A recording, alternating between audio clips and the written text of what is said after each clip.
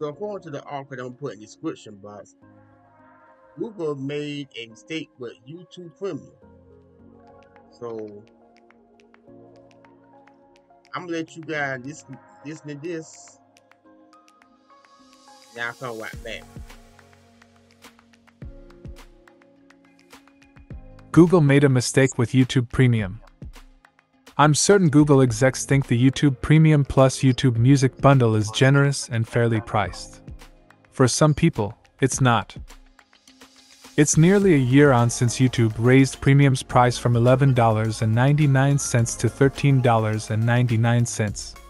From that point on, YouTube killed its short lived Premium Lite experiment, ensuring you had to pay for music in addition to Premium. Google then ended its grandfathered YouTube Red plans at the beginning of 2024, so people used to paying $8 or $10 suddenly had their bills skyrocket. Finally, it spent this year finding every possible method of counteracting ad blockers. I'm a bit late to the discussion. Since the price hike, I scrounged a year or so of free YouTube Premium thanks to free 3 month trials from various Android phones, tablets, and watches. Now that they've run out, I've grown accustomed to seeing an ad every 10 minutes or less. Or if I pause too long and the page auto refreshes. Or if I scroll back to check something and hit an ad checkpoint. YouTube doesn't care how obnoxious the experience is for everyday viewers. It wants to annoy us into giving Google money and enhancing its bottom line. The problem is how much they charge. Image Let's do a little comparative exercise. Most streaming platforms now offer a low tier ad option, followed by an ad free upgrade. They all cost more than YouTube, a free service. But how much does each platform charge to remove ads specifically? Prime Video, $3. HBO Max, $6. Paramount Plus, $6. Peacock, $6. Netflix, $8.50.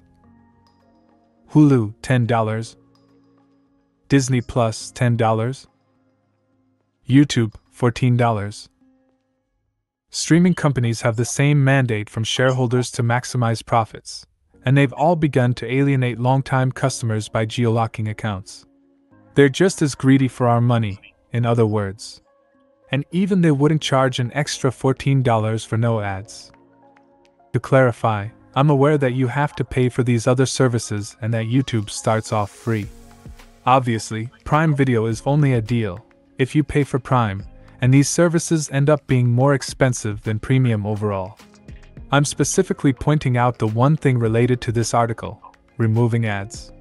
And Google charges more for that than anyone else, bundling in a lot more stuff to bring the total price closer to other services. Now hold on. I can picture YouTube's CEO Neal Mohan saying, Those don't give you a music streaming service in the bargain. And that's true. Most music streaming services cost about $11 per month, including YouTube Music. So to spend only $3 more for no YouTube ads is eminently fair. This assumes, however, that you care about YouTube Music. And I don't. I had to use it while reviewing the Fitbit Charge 6, which, annoyingly, blocks playback controls for every music app besides YouTube Music. Otherwise, I haven't gotten my money's worth. It's not that YouTube Music is bad.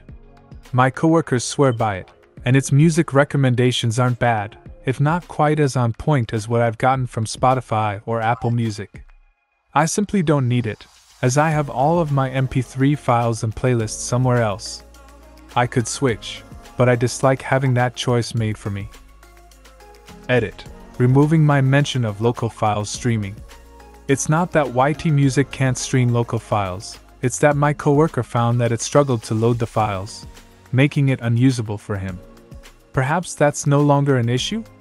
Regardless, my main point that not everyone needs another music streaming service foisted on them, no matter how good it is, was being lost. Compare YouTube Premium and Apple One. Premium is $6 less per month, and some people might not care about Apple throwing in arcade and a meager 50 gigabytes of iCloud storage. On the other hand, you aren't forced to pay for Apple One. You can subscribe to music by itself, or TV Plus by itself.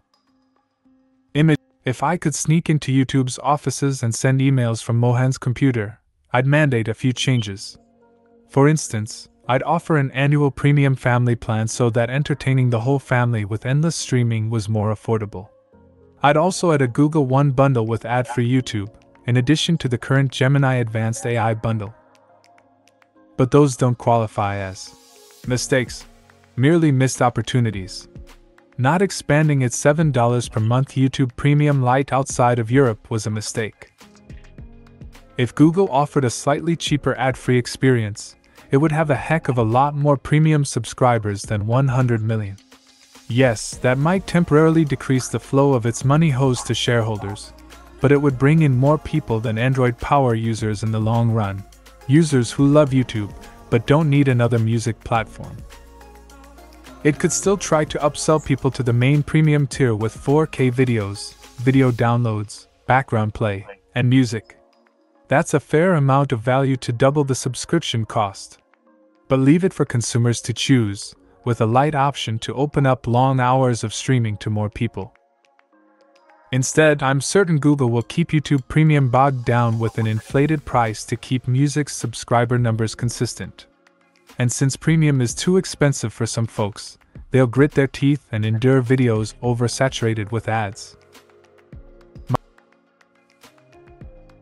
Uh, you heard you heard the whole thing. You heard the audio to this article. But I will say this. I will say this. Some of the things that were mentioned in this article, you kind of see the wrong, in my opinion, you kind of saw the white on the wall with that anyway. Because you YouTube brings uh, people get, get it just so they won't have to deal with ad all the time. But I don't know what they thought they was doing. Even that time, even uh even when they was uh set up the things they set up. So kind of like making people get the, uh, the ads and stuff. But still, people may get annoyed about it, but I personally believe you got a lot of people still give the ad than than than to pay money. I mean, and listen to some the listen to prices of some of these uh streaming services, including YouTube Premium. I hate to say they kind of was they kind of was asking for this to happen.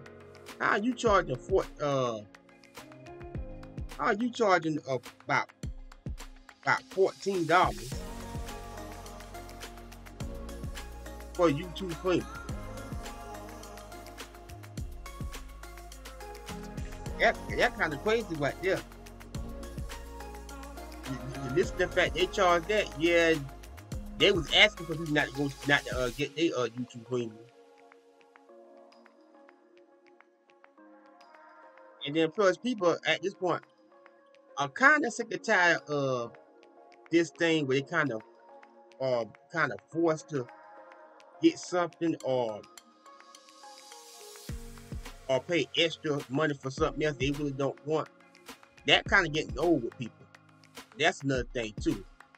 That's just my little take on, on this article. But like I said, let me know your thoughts about this whole situation.